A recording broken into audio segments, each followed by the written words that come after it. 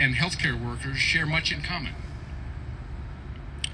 We don't say, we don't know how. We say, we'll figure it out. We don't say, it can't be done. We say, we'll make it happen. And we don't say, forget you. We say, follow me. During their early adult lives, soldiers and healthcare workers go through kind of a social metamorphosis.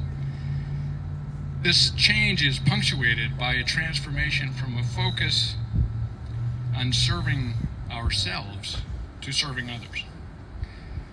Soldiers and healthcare workers are the good Samaritans of the 21st century.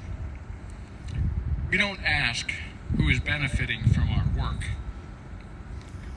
We simply do the right things at the right time, in the right place, every day, every time.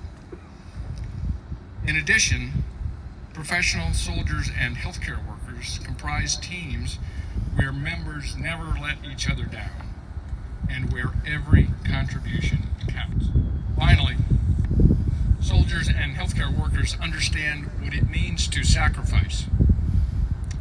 Sacrifice time from our personal families to provide our nation and our patients with time for their own families.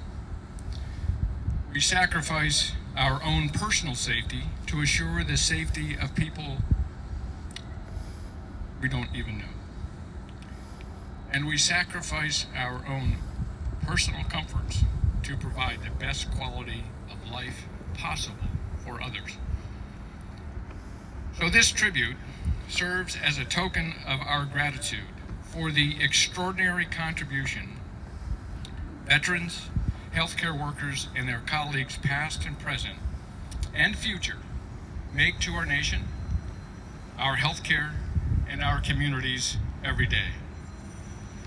So to all those who are veterans, to all those who are related to a veteran, to all those who have loved or cared for a veteran, and to all those veterans who are also healthcare workers, this tribute, this memorial is for you.